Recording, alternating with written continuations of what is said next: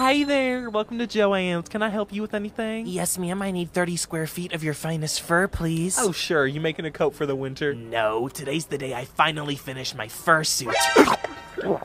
oh my god. Uh, that's so cool. Security. Uh, hey, excuse me. Excuse me. My son accidentally put borax in all of the glue containers, and now they're literally all slime. Ma'am, we don't even carry borax in the store. Oh no, he brought it from home. Okay, well, don't let him do that. Okay, well, he likes borax. What am I supposed to do? Tell him not to like it? okay, well, you just came to me telling me he was damaging store property, so. Oh, so now you're gonna accuse my son of damaging store property. You know what? Fuck you in this company. I will never shop here again. Billy, let's go. Mommy, I made slime.